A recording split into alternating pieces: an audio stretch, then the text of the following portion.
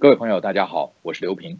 今天华府看天下，我们跟大家谈起一个题目。第一个呢，是中国前总理朱镕基非常坚定的、公开的支持现任的总书记啊，这个呃习近平。这个呢，应该是卸任常委里第一位公开力挺习近平的。其次要跟大家谈的是美国的 B-1 战略轰炸机飞过朝鲜半岛。这是美国强调啊，在军事行动上啊，或者说是在这个呃军事戒备上绝不松懈。嗯，朝鲜当然骂美国这是无赖啊，这是侵略的行为。第三个跟大家谈的是呃，北韩前驻伦敦的副大使，呃，相当于其他国家的公使啊，二号人物为什么要叛逃？他的理由是不愿意让孩子也做奴隶啊，这是一个非常深刻的说法。最后跟大家谈谈是一个。成长非常快速啊，呃，非常亮丽的航空公司——柏林航空，吹起了熄灯号，最后一班飞机啊，这个跟大家说拜拜，航空公司就合并到其他的航空公司，怎么会这样子哈？好了，先讲朱镕基，呃，在十月三十号啊，这个有中国的官方啊，那发布了这么一个讯息啊，这个讯息是这这个这两天发布的，我活动是十月三十号，说呢，我读给大家听是。这个习近平总书记会见清华大学经济管理学院顾问委员会的委员，呃，清华大学这个经济管理学院，他以前有一位院长啊，鼎鼎大名，就是朱镕基。那么早上呢是呃习近平主席会见这个顾问委员会，下午呢那就是这个呃朱镕基先生还有他的妻子劳安女士，他们两个人会见了这个委员会。那么虽然是这个后来这个朱镕基啊，呃出任这个政府的要职，但是呢，他一直保有清华大学这个经济管理学院的名誉院长，而且他也是顾问委员会的这个名誉这主席，所以他跟清华大学的关系非常密切。那么上午呢，习总书记或者习主席啊见这个委员会，下午朱镕基见这个委员会，这个官方啊发布这个讯息，那就是非常耐人寻味。这个经济呃，这个经济管理学院的顾问委员会的成员包括哪些？那也是鼎鼎大名，包含鲍尔森，这是美国的呃前财政部长，这个和中国的关系啊来往非常密切的。那么还有呢是库克先生，谁呢？就是苹果公司的首席执行长，还有这个中国方面的企业文人啊，包含马云，包含马化腾。所以呢，这一个顾问委员会它的代表性是不同凡响的。上午见习总书记，下午见这个前总理朱镕基，然后呢，接下来就是朱镕基的一些谈话。呃，为了求慎重，我把它读给大家听。这个习总，这个这个朱镕基先生讲，他说他这一次啊，是以这个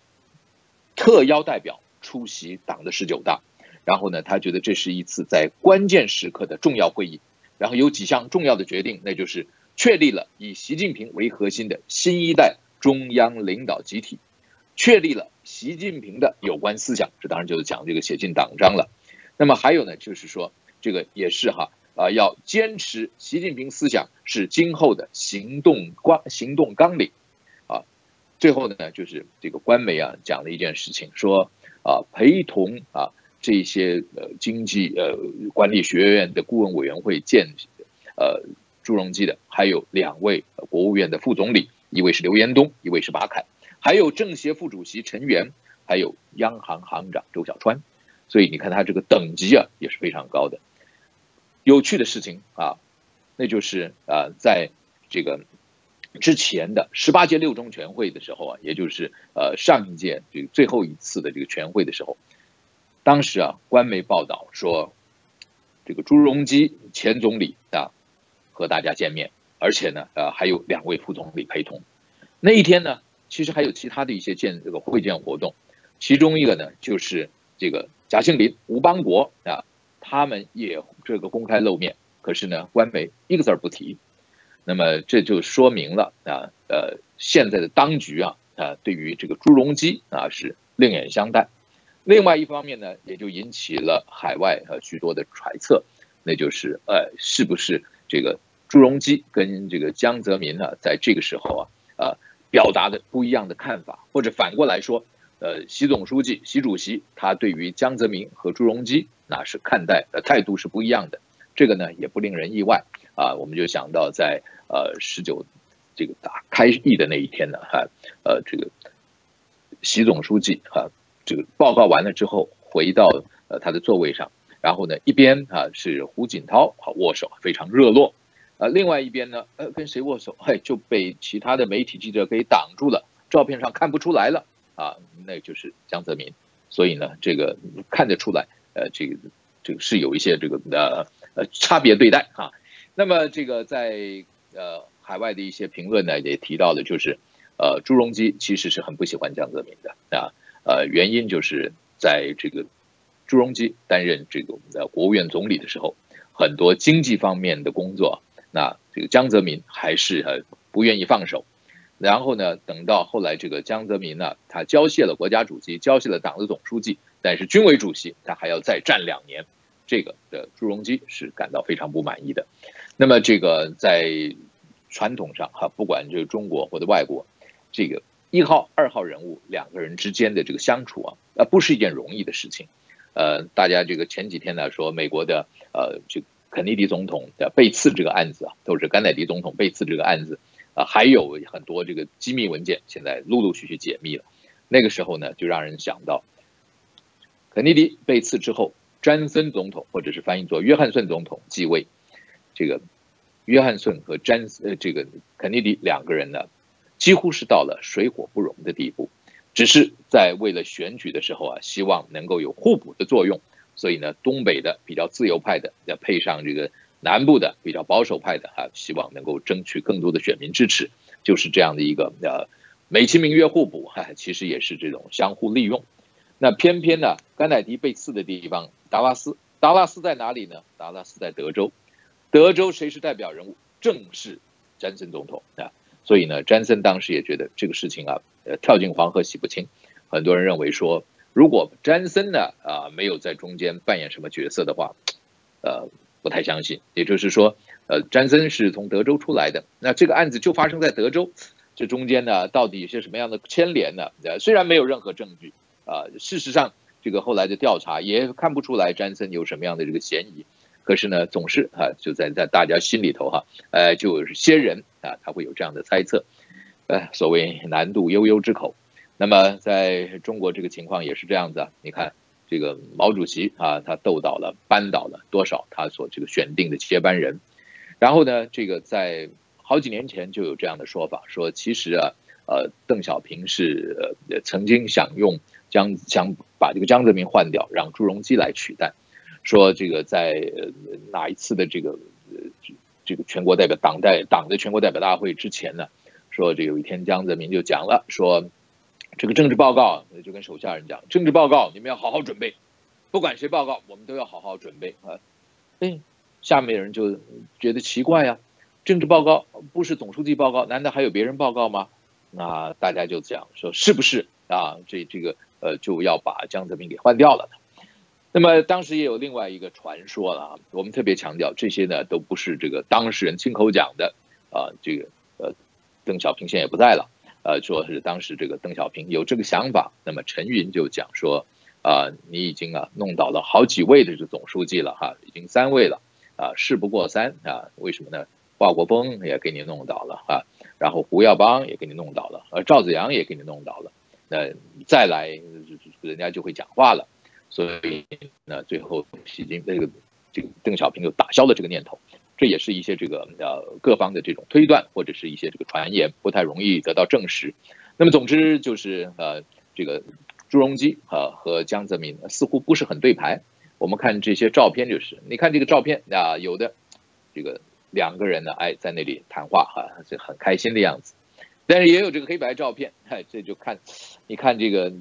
朱镕基啊，呃，敬酒，呃，眼睛是看着别的地方，呃，这种照片我们特别强调，它未必能够代表全貌。为什么呢？因为这都是瞬间的照片。也许呢，呃，一方面要敬酒，一方面旁边人在讲话，呃镜头上没有看见，但是朱镕基当时是看着别人，所以脸还没有完全转过来啊，这也是可能的。你说敬酒。跟人家目光没有接触，这不是个很礼貌的事情。但是现在网络上确实有这么一张照片，这个然后呢说啊，朱镕基啊，其实也是同情的胡锦涛的，因为大家知道，在胡锦涛当政的很长的时间里边，江泽民呢，他一直把持着很多这个权势不放啊。那么这个照片里啊，呃，几个人都是比现在年轻很多了啊。这个是这个朱镕基，然后中间是江泽民，在左边是胡锦涛啊，这也是一张这个历史性的照片。那么让我们再想起这个亲眼看到的在华府的一个情况，那就是一九九九年呢，在中国努力争取要加入世界贸易组织 WTO 的时候啊，啊，朱镕基来美国这边谈判，呃，这个后来呢，这克林顿总统没有及时的和朱镕基啊。签这个协议，就是中美国支持中国加入世贸，没有及时签啊。这个听说克林顿对这个事情啊也是觉得有点后悔，因为随即就发生了南斯拉夫的中国大使馆遭到美国误炸这件事情，呃，引起中国方面群情激愤，也使得美中关系啊出现了一次极大的震荡。如果呢那个时候啊，呃，这个和就远道来访的朱镕基总理签了这么一个协议的话。那么再发生这种这个大使馆被炸的事情啊，呃，这个紧张或者是这个呃双方这种这个震怒啊，中国方面震怒这个气氛应该会降低一点。可惜了，这些是呃千金难买这个呃早知道啊，这个呃怎么样要没有办法买到这个后悔药，没有办法来治后悔的这种药。那么当时啊，在一个这个公开的记者会上啊，呃，曾经有人问到，问说这问朱镕基啊，说呃你。来美国访问哈，你也知道啊，中国方面呢是对你有很多的这个责难啊，觉得说你来跟美国来美国这边访问啊，啊，为了要争取美国支持中国加入 WTO，美这个中你会不会有一些事情啊就会让步了啊，诸如此类的事情啊。那朱镕基这个公开举行记者会，这个事情就不容易哈。大家知道，呃，中国的领导人访问美国啊，和有的时候这个记者会啊，呃。都事先安排好的，中方这边呢是什么人发问的？这都是呃，这个等就差没有排练了。有一次啊，中国一位领导人来美国访问的，哎，这个公开记者会，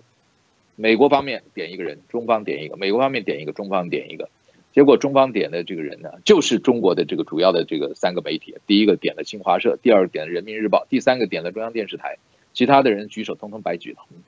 呃，怎么会这么巧合啊？这当然，这个也让人这个就我们就在这不用多说了。但是当时朱镕基他这个记者会上基本上是呃没有这种事先这个挑选过的，那么他的回答呢也不是事先写好的稿子，哎，他这个回答呢就让人家听了就觉得这个呃比较亲切一点。那问到的这个比较敏感的问题，朱镕基当时讲了，朱镕基说啊，其实我是不想来美国的，但是呢，我们江泽民主席要我来美国访问。在中国啊，他是 number one 呢，所以呢，啊，我还是来了。呃，对不起啊，我们这个地方啊，这个突然灯光变暗了，我去调一下灯光，看看怎么回事。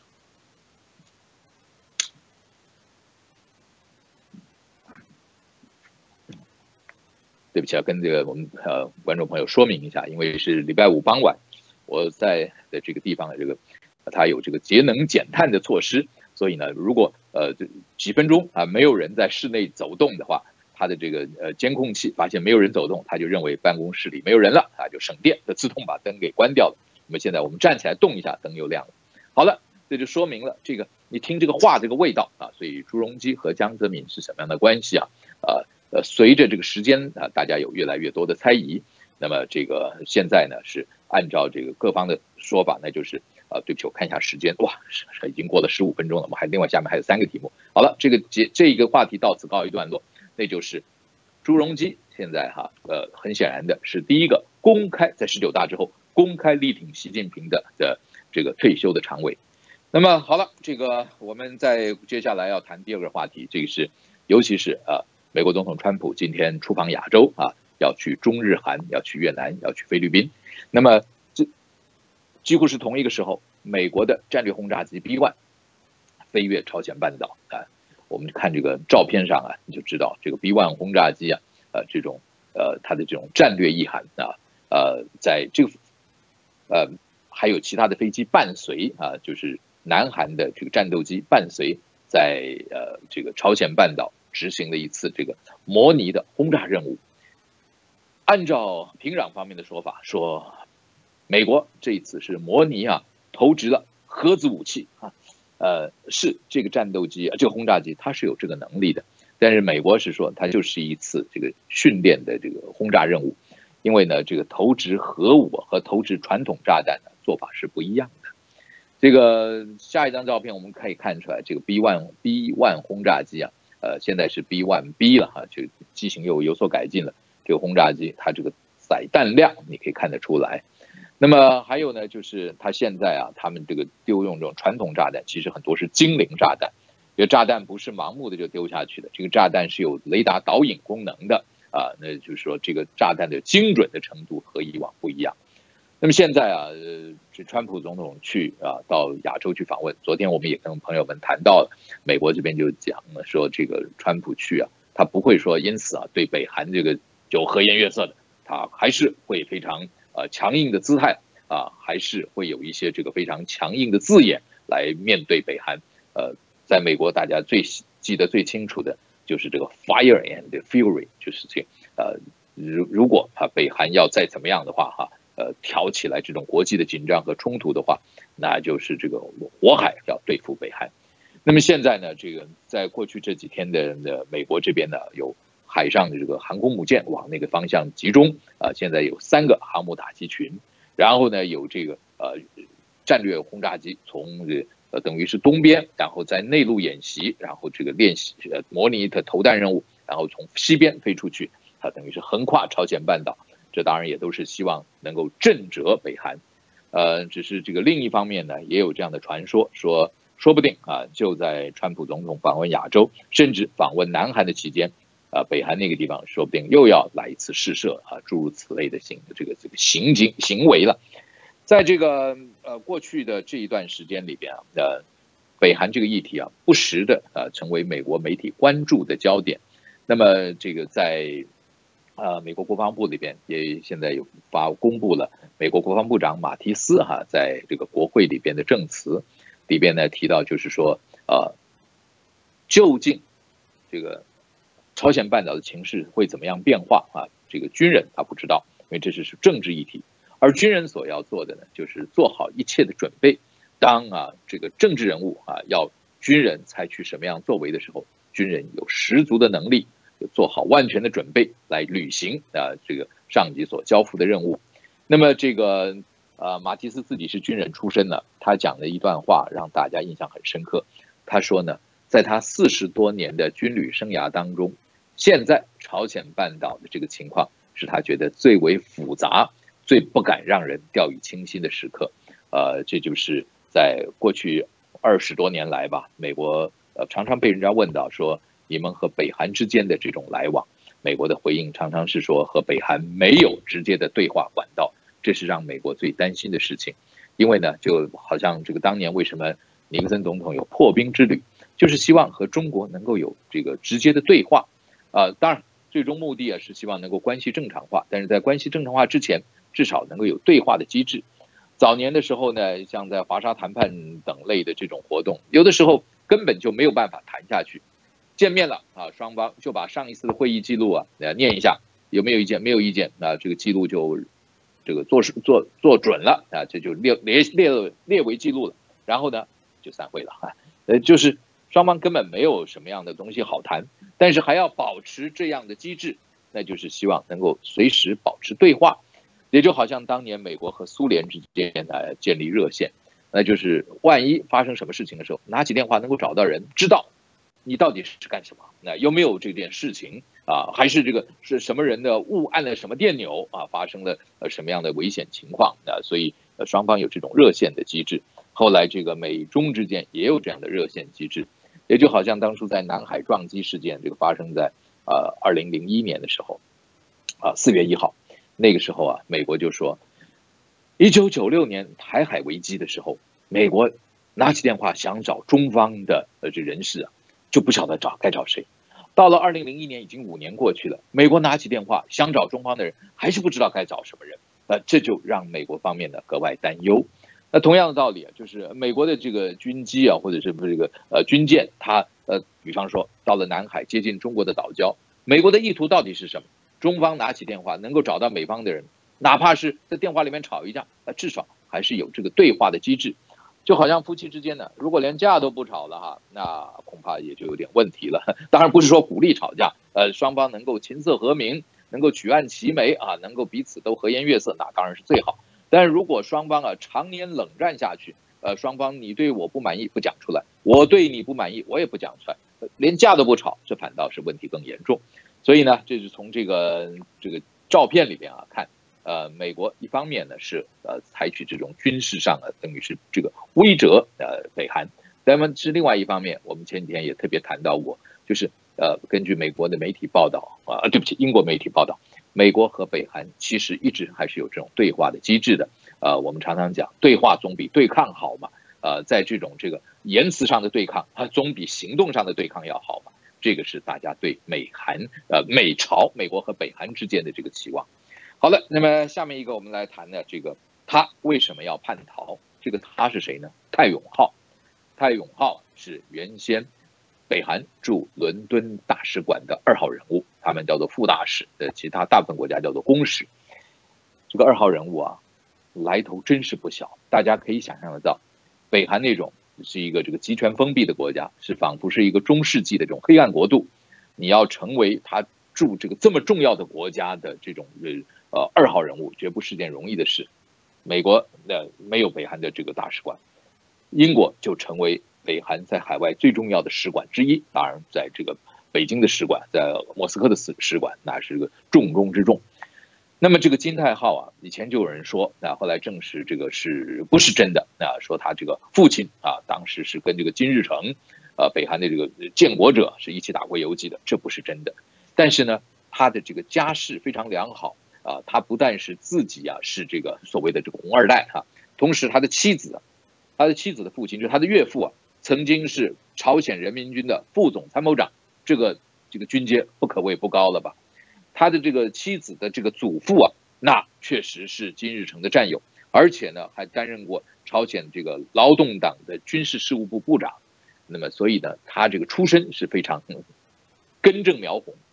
然后呢，他在中学的时候就让朝鲜半岛，呃，朝鲜这个北韩了，把他选训，把他选到中国去留学，那么到中国去学中文，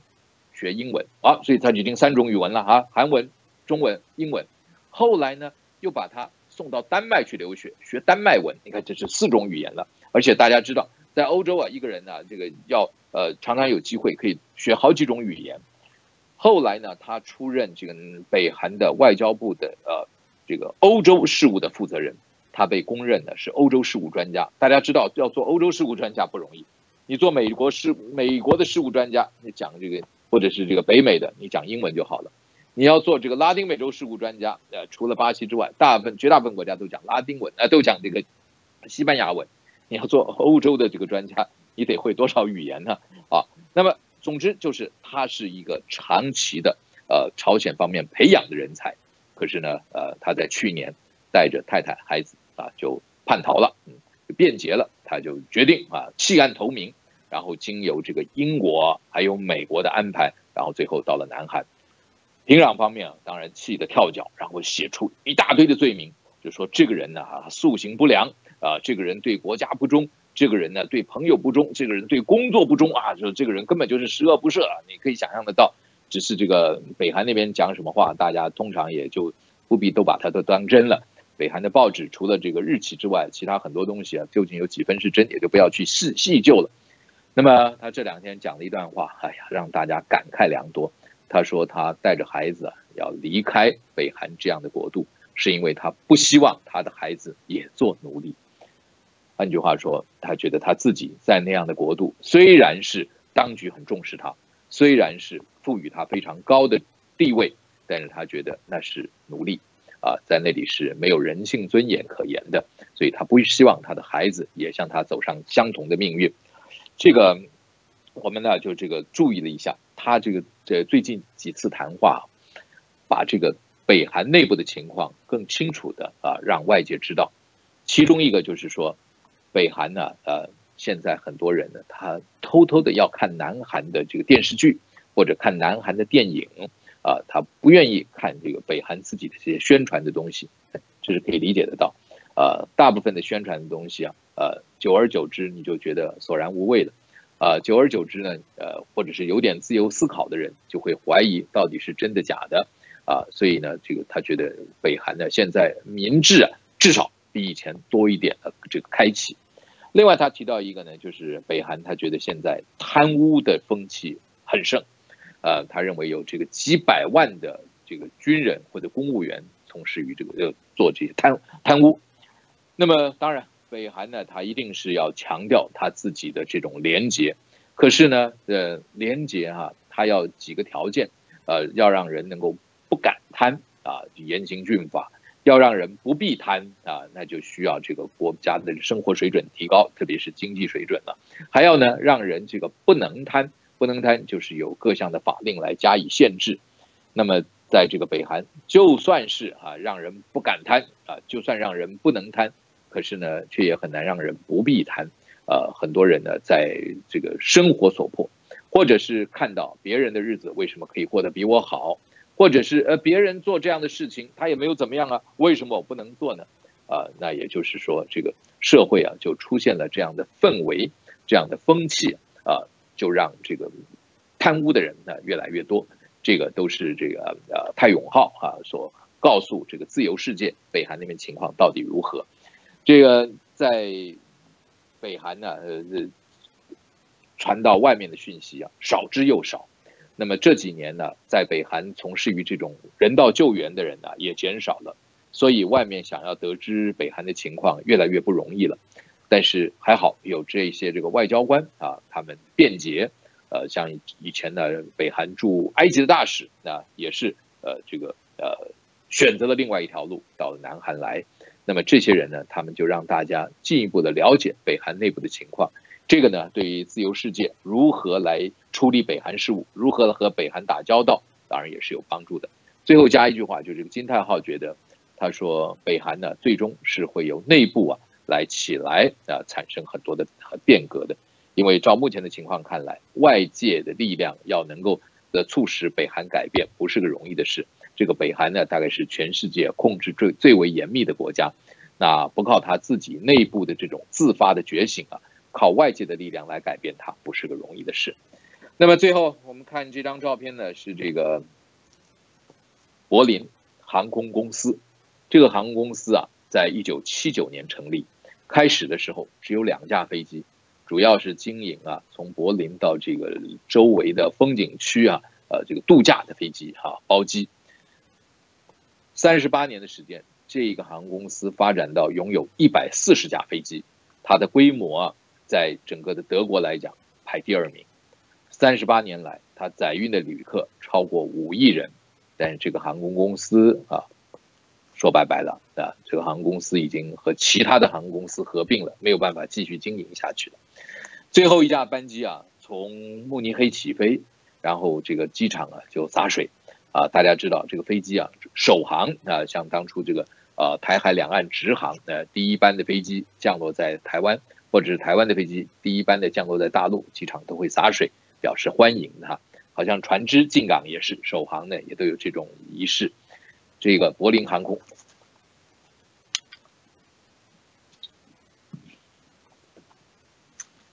对不起啊，他这个是告诉我时间快到了，所以又黑了一下。呃，航，因为我们今天都讲人家拜拜嘛，我们也要拜拜了哈。呃，然后我们我柏林航空拜拜了，这个大概就没有东山再起的日子。我们拜拜，下个礼拜还要见面的哈。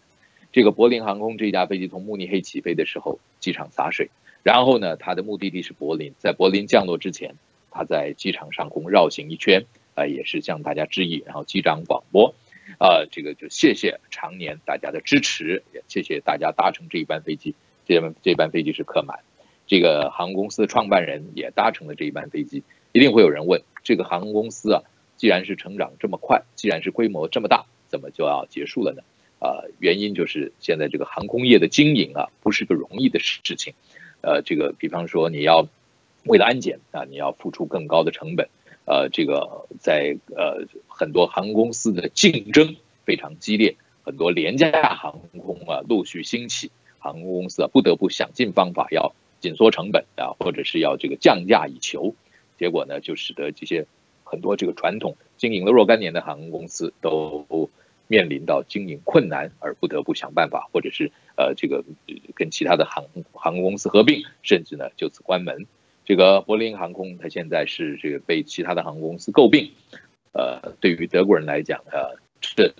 虽然减少了一个呃这个名声很旺的航空公司，但是至少这个员工啊，呃还是有路可走。呃，并购的话，它航空公司的这些员工继续到新的公司去服务。呃，总之呢，就是也减少了一个在航空这个体系当中的竞争者。啊，会不会影响整个的这个票价哈？这个大家也是很关心的。好的，今天我们节目就进行到这儿，祝大家有一个愉快的周末假期，我们下次再会。